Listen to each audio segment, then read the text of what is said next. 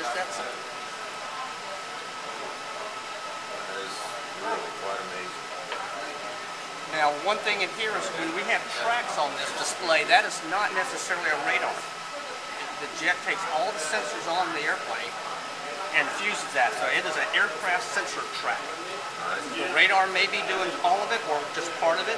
It could be my IRST. It could be uh, uh, electronically. I'm just passively tracking the target. Now, if I want to, I can find out exactly what's contributing. It could be from an off-board source over data link. I don't really know, you know, necessarily know or care. If I want to, though, I can easily find out. But What's that? What's that dash box over there, behind the information box? this, No, uh, well, no, the green one, or blue, whatever color. Yeah, that. What is that? those are just pre-planned lines that you can put. You can three different kill box or colors, of kill boxes, FEMA lines, uh, anything like that. I can, I've got three different ones that I can program in. I think up to 20 points per line to define it. So it doesn't have to be a, you know, a square. You can zigzag it all around. Burner is uh, out. Yep, that's Oh, afterburner. That's afterburner. Okay. There's no, actually a there's no detent. Well, there's just a, it's a uh, artificial electronically controlled. There's a little, little bump right there. You'll feel that mill power. You mentioned about the, the sensor fusion. It- Are all of those going to be of weapons quality to be able to shoot on?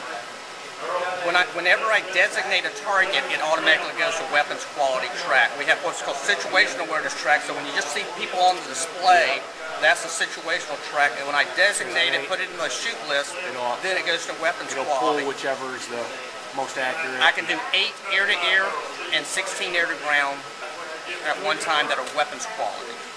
I can have a hundred tracks that I'm just monitoring out there.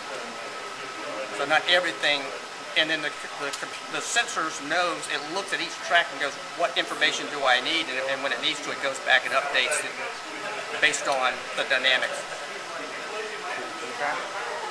Put a bogey out there for me. Let me. Closest one is right over here to your right. Just slew your cursor on one of those contacts. There. Take this button here and click straight up on it and let go. Do it faster. Click and release. There you go.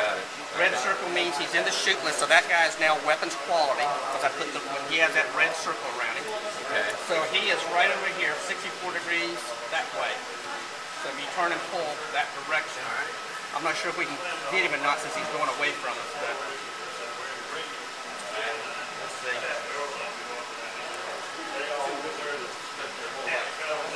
He's in the box. Stop, turn. Yeah, he's right over here. Uh, he's 20 miles of going straight away from us, so I don't Oh, think okay. we're going to it's catch him, going unfortunately. Okay. Unless he turns. But anyhow, he is. That's where he's at, straight up over there. Okay. And that's uh, You fly her. altitude and then the Uh, altitude no, AGL no, is below it. This is yeah. this is- AGL. Right. This is over Three, radar. three Mountain Boys. radar altimeter. Above the ground. Guy went through TX course from up there. He's probably not there anymore. I'm trying to remember his name. Todd something, I think. Hmm. Long time ago.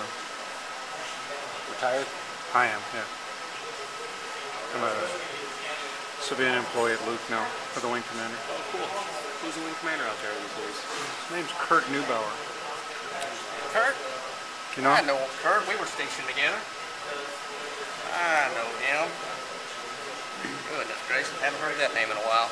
Yeah. Back when I was, you know, we were captains. He came together. in. He came in uh, in July. I didn't even know he was still on active duty. How about that?